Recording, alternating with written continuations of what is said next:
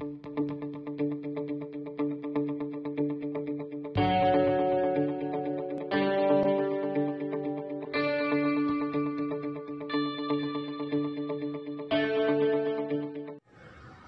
children, in this class we are going to learn the second unit food.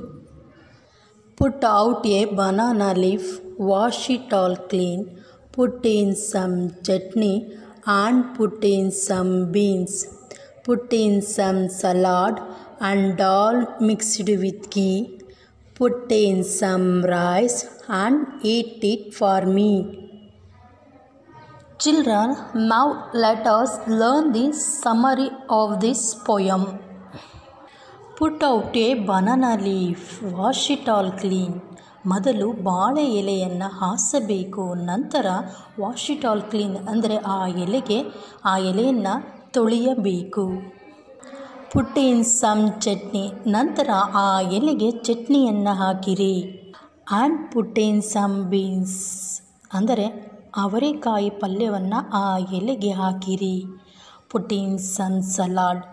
Salad ಅಂದರೆ ಕಾಳುಗಳ ಪಲ್ಯ. ಆ ಕಾಳುಗಳ ಪಲ್ಯವನ್ನು ಎಲೆಗೆ ಹಾಕಿರಿ.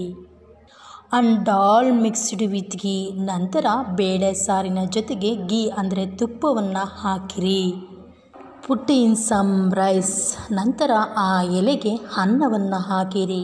And eat it for me. ಇವೆಲ್ಲವೂ ನನಗಾಗಿಯೇ. ಇದನ್ನು ತಿನ್ನಿರಿ. ಎಂಬುದು ಈ ಪದ್ಯದ ಅರ್ಥ. Down the page children, join the dots and color the picture.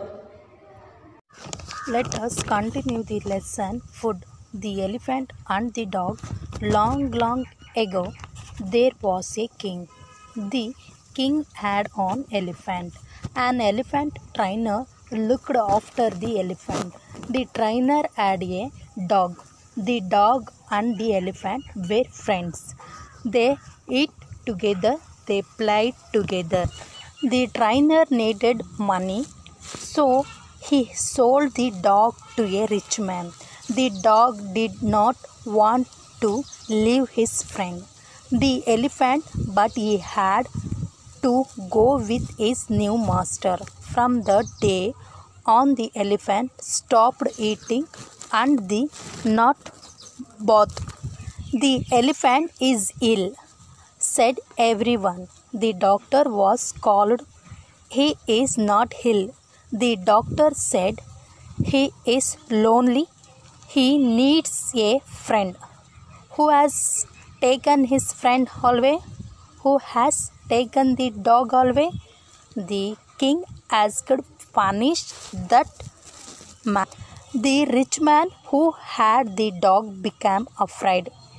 He set the dog free the dog ran out of the rich man's house. He ran as fast as he could to the elephant. Both the elephant and dog were now happy. They played together once again. Children, now I explain the summary. The elephant and the dog. Long, long ago, there was a king. ಒಂದನ್ನೊಂದು ಕಾಲದಲ್ಲಿ ಒಬ್ಬ ರಾಜನಿದ್ದನಂತೆ. The king had an elephant. ಆ ರಾಜನಿಗೆ ಒಂದು ಆನೆ ಇದ್ದಿತಂತೆ. An elephant trainer looked after the elephant. ಆ ಆನೆಯನ್ನು ತರಬೇತಿಗಾರ ಟ್ರೈನರ್ ಅಂದರೆ ತರಬೇತಿಗಾರ ನೋಡಿಕೊಳ್ಳುತ್ತಿದ್ದನು. The trainer had a dog. The dog and the elephant were friend ಆ ತರಬೇತಿಗಾರ ಒಂದು ನಾಯಿಯನ್ನು ಹೊಂದಿದ್ದನಂತೆ ನಾಯಿ ಮತ್ತು ಆನೆ ಇಬ್ಬರು ಕೂಡ ಒಳ್ಳೆಯ ಗೆಳೆಯರಾಗಿದ್ದರು. They eat together they play together ಅವರಿಬ್ಬರು ಜೊತೆಯಲ್ಲಿಯೇ ಊಟ ಮಾಡುತ್ತಿದ್ದರು ಮತ್ತು ಜೊತೆಯಲ್ಲೇ ಆಟವಾಡುತ್ತಿದ್ದರು. The trainer needed the money ಆ ತರಬೇತಿಗಾರನಿಗೆ ಹಣದ ಅವಶ್ಯಕತೆವಿರುತ್ತದೆ so he sold the dog a rich man. ಅದಕ್ಕೆ ಅವನು ಆ ಶ್ರೀಮಂತ ವ್ಯಕ್ತಿಗೆ ಆ ನಾಯಿಯನ್ನು ಮಾರಿದನು. The dog did not want to live his friend. ಆ ನಾಯಿಗೆ ತನ್ನ ಗೆಳೆಯನನ್ನು ಬಿಟ್ಟು ಹೋಗಲು ಆಗುತ್ತಿಲ್ಲ. The elephant but he had to go with his new master.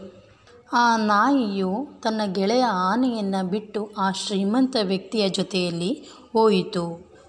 From that day on the elephant stopped eating and would not bath. ದಿನ ಕಳಿತಂತೆ ಆನೆಯು ಊಟವನ್ನು ಮತ್ತು ಸ್ನಾನ ಮಾಡುವುದನ್ನು ಕೂಡ ನಿಲ್ಲಿಸಿತು. ದಿ ಎಲಿಫ್ಯಾಂಟ್ ಈಸ್ ಇಲ್. ಆ ಆನೆಗೆ ಅನಾರೋಗ್ಯ ಉಂಟಾಯಿತು. ಇಲ್ಸ್ ಅಂದರೆ ಅನಾರೋಗ್ಯ ಉಂಟಾಯಿತು. ಸೆಟ್ ಎವ್ರಿ ಒನ್ ಇದು ಕೂಡ ಎಲ್ಲರಿಗೂ ಗೊತ್ತಾಯಿತು. The doctor was called he is not ill ಅದಕ್ಕೆ ಡಾಕ್ಟರ್ ಆನೆಗೆ ಅನಾರೋಗ್ಯ ಏನೂ ಆಗಿಲ್ಲ ಎಂದು ವೈದ್ಯರು ಹೇಳಿದರು. Is only he needs a friend is lonely ಅಂದರೆ ಇದು ಏಕಾಂಗಿ ಇದೆಯಲ್ಲ ಏಕಾಂಗಿಯಾಗಿ ಇರೋದರಿಂದ ಇದಕ್ಕೆ ಈ ರೀತಿ ಆಗಿದೆ ಎಂದು ವೈದ್ಯರು ಹೇಳಿದರು. Who has taken his friend ಆಲ್ವೆ who has taken the dog ಆಲ್ವೆ the king has could punish that man ನಂತರ ಆ ಕಿಂಗ್ ಆನೆಯ ಗೆಳೆಯನನ್ನು ಯಾರು ಕರೆದುಕೊಂಡರು, ಕರೆದುಕೊಂಡು ಹೋದರು, ಯಾರು ಕರೆದುಕೊಂಡು ಹೋದರು ಎಂದು ರಾಜನು ಪ್ರಶ್ನಿಸಿದನು. ನಂತರ, ಫಿನಿ, ಫಿನಿಶ್ ದಟ್ ಮ್ಯಾನ್, ಅವರಿಗೆ ಶಿಕ್ಷೆಯನ್ನು ಕೊಡಬೇಕು ಎಂದನು. The rich man who had the dog became afraid. ಈ ವಿಷಯ ಆ ಶ್ರೀಮಂತ ವ್ಯಕ್ತಿಗೆ ಗೊತ್ತಾಯಿತು. ನಂತರ ಅವನಿಗೂ ಕೂಡ ಭಯವಾಯಿತು. ಈ ಸಿಟ್ ದಿ ಡಾಗ್ ಫ್ರೀ. ನಂತರ ಆ ನಾಯಿಯನ್ನು ದಾರದಿಂದ ಬಿಚ್ಚಿ ಹಾಕಿದನು. The dog run out of the rich man house. ನಂತರ ಆ ನಾಯಿ ಬಿಟ್ಟು ಕೂಡಲೇ ಆ ರಿಚ್ ಮ್ಯಾನ್ ಮನೆಯಿಂದ ಆ ಆನೆಯ ಹತ್ತಿರ ಓಡಿ ಹೋಯಿತು. ಈ run as fast has he could to the elephant, ಅಂದರೆ ಆನೆಯ ಹತ್ತಿರ ಓಡಿ ಹೋಯಿತು. Both the elephant and dog were now happy. ಇವರಿಬ್ಬರು ಕೂಡ ಸಂತೋಷದಿಂದ ಇದ್ದರು. They play together once again. ಇಬ್ಬರು ಕೂಡ ಆಟವಾಡುತ್ತಾ ಸಂತೋಷವಾಗಿ ನಂತರ ಇದ್ದರು. Thank you children.